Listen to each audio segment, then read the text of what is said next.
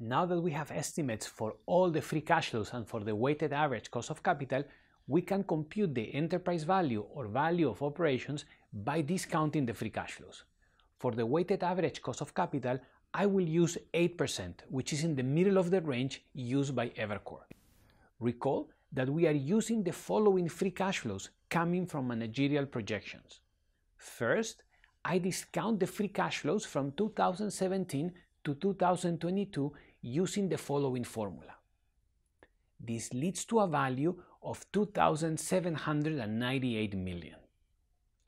Next, I need the present value of the free cash flows that start in 2023.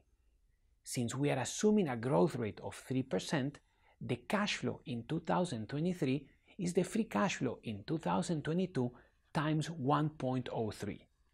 This leads to 870.35 million for the free cash flow in 2023. Now, the following formula captures the present value of the free cash flows from 2023 onwards and gives its value as of 2022. The value is 17,407 million. Now, we need to discount this value to the present, that is, by six periods.